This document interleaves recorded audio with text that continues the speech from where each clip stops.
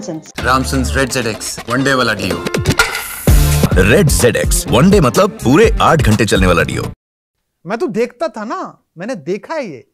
बीस लोग बैठे हैं और एक आदमी घुसा। सर सर नशा सर वो ट्वीट बहुत अच्छा करा आपने। वो बोला मुख्यमंत्री बोला कौन सा ट्वीट? वो जो सर आज करा। नहीं वो तो कुमार ने किया था उसको मैंने रिट्वीट किया था। हाँ सर वही वही। अबे तो मेरी तारीफ़ बहुत अच्छा रिट्वीट किया। क्या? क्या चिंटूगिरी है? सिर्फ़ इसलिए कि सीएम की निगाह में बने रहे कि दिल्ली कमिश्नर, कमीशन मिल जाए, फला मिल जाए, कैसे लोग, किसके लिए? किस दो रोटी में समस्या है? यार क्या मेरे मेरे जैसा आदमी क्यों करेगा? ये जो करते हैं, मैं इनके कई बार सोचता हूँ, क्यों करते हैं? मैं पत्रकारों से अक्सर कहता हूँ कि एक कस्बे में जो बारह हज़ार का है, वहाँ एक प्रादेशिक अखबार का संवाददाता, जिसे कॉलम में इंच में मिलके पैसे मिलते हैं।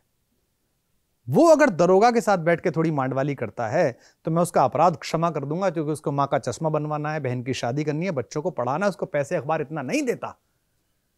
पर जो चैनलों में बड़े बड़े चेहरे लेके तीन तीन चार चार करोड़ रुपए साल की डील लेते हैं, वो जब चाटते हैं तो मेरे को मन कहता कहाँ जाके ले जाएगा ऐसे, कहाँ मरेगा जाके भाई?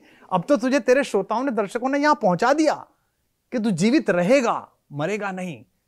वो जो ममता कहानी है जयशंकर प्रसाद की, जिसमें वो पैसा लेके अंदर घुसता है तो ममता, वो कहती है, विपद के लिए, आपद के लिए। तो कहती है, विपद के लिए, आपद के लिए? क्या पृथ्वी पर कोई हिंदू इस भूभाग पर नहीं बचेगा जो हम माँ पिता पुत्री को एक मुट्ठी भिक्षान्न दे सके पिताजी? मैं सदा यही सोचता हूँ कि क्या ले लोगे, क्या कर लोगे? ईडी लगा दोगे, जेल डाल दोगे, कार्यक्रम कैंसिल करा दोगे, क्या कर दोगे? मेरा जीवन चलाने लायक तो मुझे रोटी मिलेगी, बाकी वैसे मुझमें है नहीं कोई।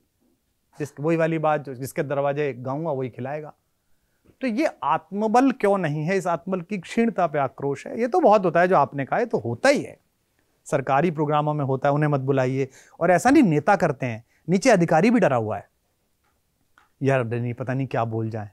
और ये तो अक्सर ही होता है कि कार्यक्रमों में जाओ तो वो कहता ही है सरकारी जो आई होता है कलेक्टर वलेक्टर ये सब थोड़ा सा जरा, थोड़ा सा जरा देख लेना।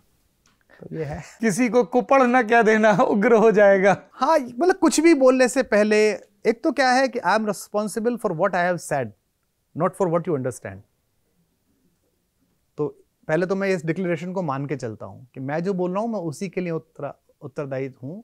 इस बात के लिए उत्तरदायी नहीं हूँ कि आपने उसे क्या समझा। पर हाँ ये होता है कि सरकारी आयोजन तो नगण्य है शून्य के बराबर होते हैं मेरे। जैसे मुझे पढ़ते लिखते हिंदी में पैंतीस साल हो गए। इस देश में पिछले तीस साल से विश्व हिंदी सम्मेलन हो रहा है दुनिया भर में। मुझे आज तक बुलाया भी नहीं गया मैं नहीं गया, अलग बात है। मुझे निमंत्रण भी नहीं आता है। क्योंकि हर समय ऐसी सरकारें होती हैं जिनको लगता है इसे ले आओ, पता नहीं क्या बोल दे, पता नहीं है क्या कह दे। उस समय तो ताली बज जाएगी, जनता के सामने कुछ बोल नहीं पाओगे। बाद में वो उठ जाएगी, इतनी सी बात।